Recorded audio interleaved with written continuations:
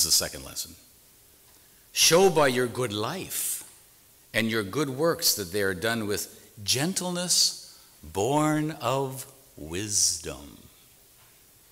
For where there is envy and selfish ambition, there will also be disorder and wickedness of every kind in the universe, in all of creation, with the seas, with the land, with people.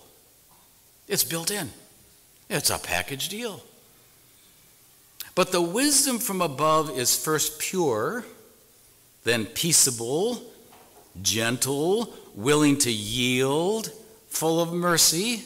He's describing his brother, who is wisdom personified in the world. He's describing our Lord Jesus, who is in you, by the way. The wisdom from above is peaceable, gentle, willing to yield, full of mercy and good fruits, without a trace of partiality or hypocrisy.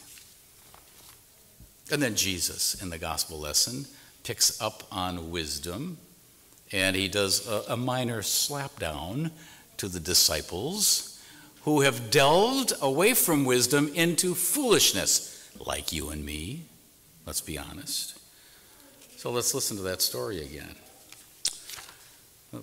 They must not have been walking with him, by the way. I, I was looking at this over and over and over because they must have been either in front of Jesus or behind him in this journey as they were going to Capernaum. And uh, they were discussing something they didn't want Jesus to hear, did they? Well, they were working, you know, several years already with Jesus teaching them, and he'd already reminded them that they are slow to remember things. And they were talking about what? Self importance. Who is the greatest among us? They were saying to each other and arguing about it. See, you know, we see this in our culture all the time, maybe in ourselves. Well, who is number one? Yes. Who's the best? Who's the winner? And who's number two? Well, then you, you know, that's a long conversation. Well, then who's, yes, who's number three?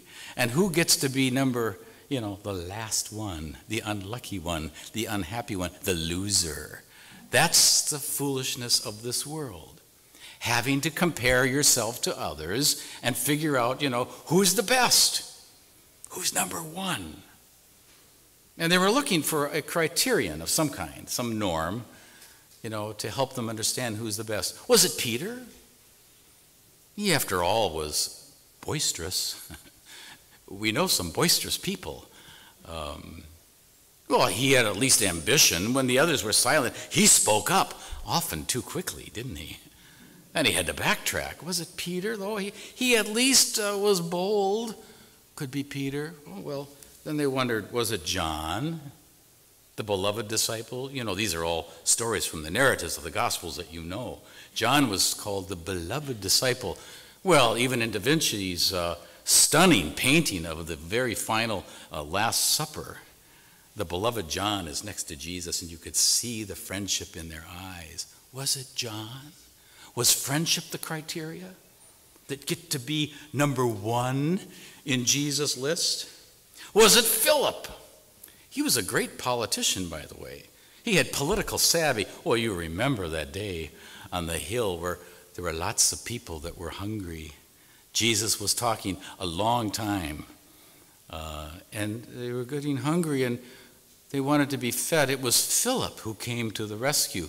Jesus, uh, I see you, you're not just teaching, you want to feed people physically as well. There's a boy here with what? I can't remember. Some fish and some bread. And Philip, was it political savvy? Is that what makes you number one, the greatest? Was it Judas, the money guy? Got to have money.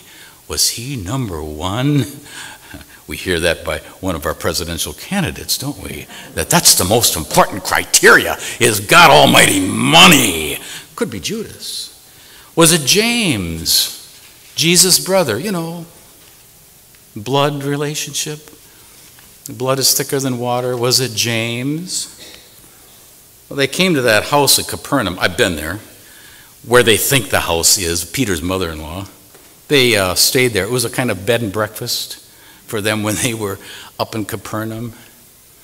And uh, they all got in the house and they were silent.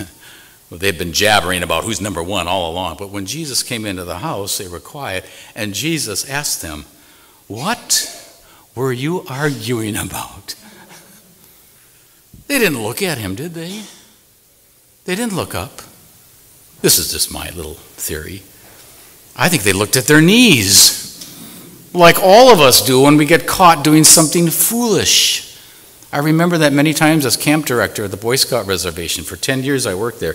I had to do a couple slapdowns and uh, call them on the carpet. And you, you ask the question, okay, boys, what were you doing at the commissary?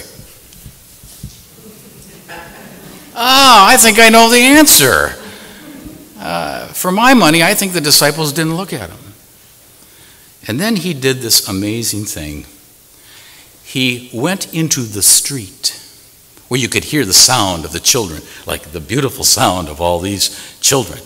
And he brought in a child, a little girl.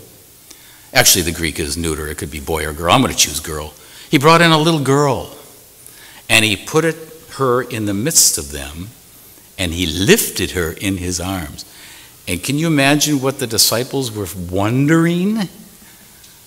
I mean, they had been surprised by Jesus before, so it wasn't brand new, but what now? A child. We've got important things to talk about. And you're bringing a street urchin with her snotty nose and her little puff of uncombed hair and her dirty feet and bringing her in the midst of us? And I love what Jesus says. Let's see. We must hear it again. He called the twelve.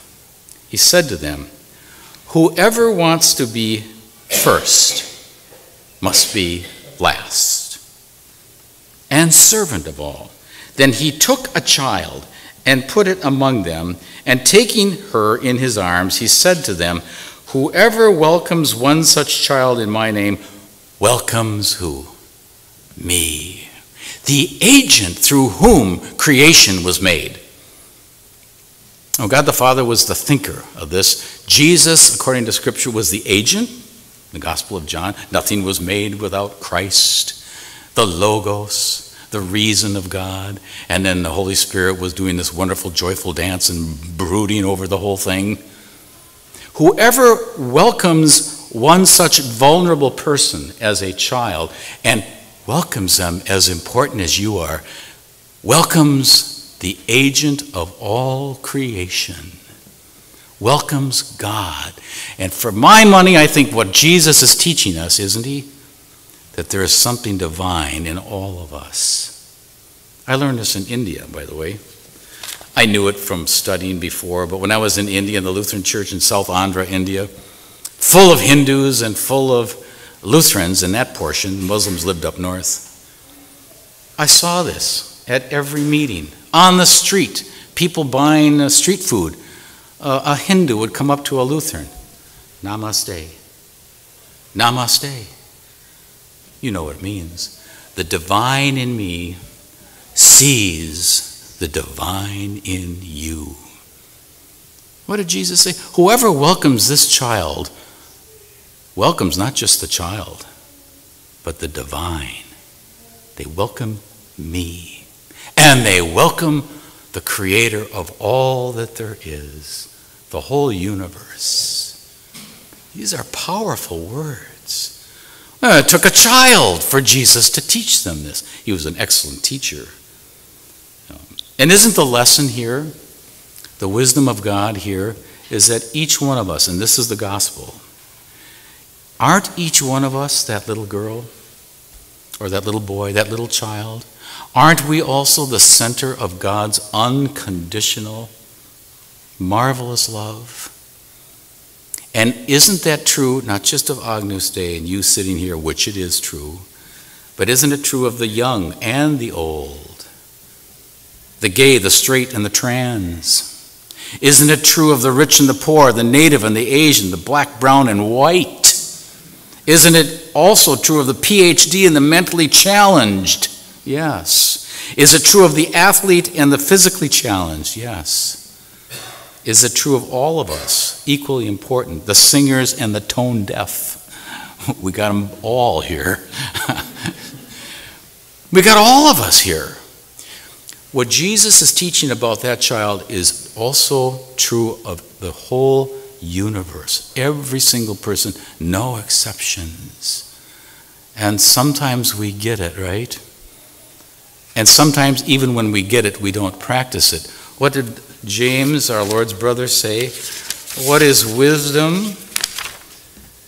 Show by your life and your good works that are done by gentleness that you were born into wisdom. It's, it's more than thinking it, it's more than reflecting on it. It's actually living into it. And the gospel of this is that you and I make mistakes. That's all right. Uh, Jesus is being, the wisdom of God, Jesus incarnate, is being formed in you every single day. When you know it, and when you don't know it. When after a few hours you say, What was that conversation I had at you know, the Starbucks? Suddenly, something about what she said is filling my heart with something very important. We don't know when the wild Holy Spirit, as we sang in the song, is doing her work around us and in us, challenging us, encouraging us, so forth. And isn't this the promise, this wisdom of God, what Jesus talked about all the time? That you're always welcome, that I will never leave you. I love you too much. And isn't what he says at the very end at the supper of the Lamb? When he says to the Father, Here is your servant, the one you and I and the Holy Spirit have joyfully loved all these centuries since people were created and hands us back to the Father for our final nurturing and love in that place where nobody's asking, I wonder who the greatest one here is. Not there. The supper of the Lamb is the supper of love where everyone is equally loved. Isn't that what this is about? Isn't it? Yesterday is gone. Tomorrow has not yet come. Live into the wisdom of God that is already in you. Amen.